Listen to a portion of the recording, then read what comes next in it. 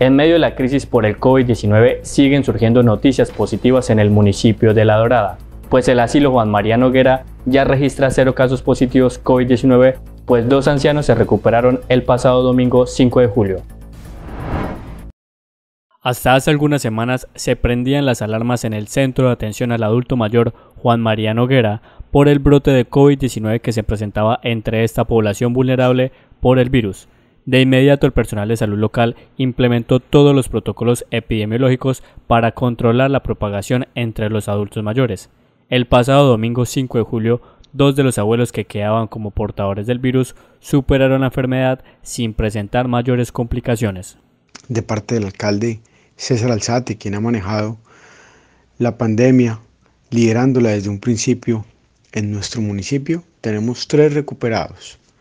Ya se ha recuperado el Centro de Atención al Adulto Mayor Juan María Noguera, estamos con cero casos activos de COVID-19 en el asilo. La Secretaría Local de Salud hace el llamado a los doradenses para seguir acatando las medidas de bioseguridad, pues aunque la curva de contagios ha disminuido, no se puede bajar la guardia ante la presencia del virus. Sabemos que tendremos más casos de COVID-19 positivos, pero lo más importante es aplicar y respetar todas y cada una de las medidas que ha tomado nuestro señor alcalde en esta pandemia. Recuerden el uso del tapabocas, recuerden el lavado frecuente de manos, recuerden respetar el pico y cédula, recuerden respetar el horario del toque de queda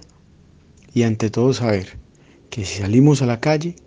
la meta es regresar sin contagios a nuestras casas, porque nos cuidamos, porque usamos el tapabocas, porque guardamos el distanciamiento social y porque queremos y amamos a nuestros seres queridos y queremos desacelerar la curva en la Dorada Caldas como lo venimos haciendo hasta el día de hoy.